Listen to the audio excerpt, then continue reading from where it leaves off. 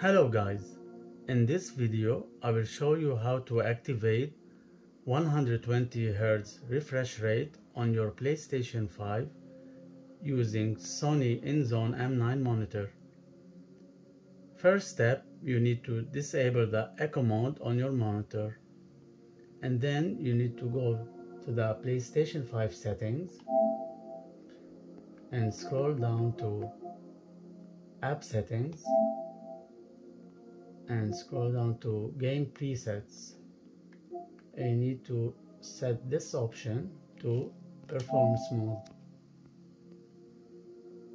This usually will allow all games to automatically activate the maximum refresh and frame rate.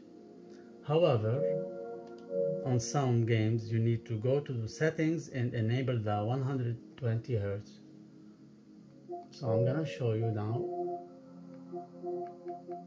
that the refresh rate on the PlayStation 5 it's up to 60 Hertz.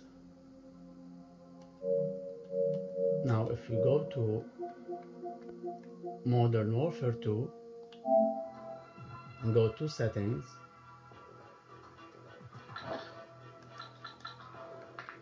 graphics and here you can see that you can activate the 120 Hz refresh rate.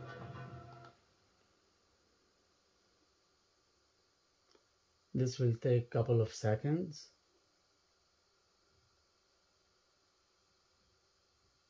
Or maybe a bit more. There you go. Now we go back to the screen and video to check the video output information and as you can see it's now 120 hertz refresh rate.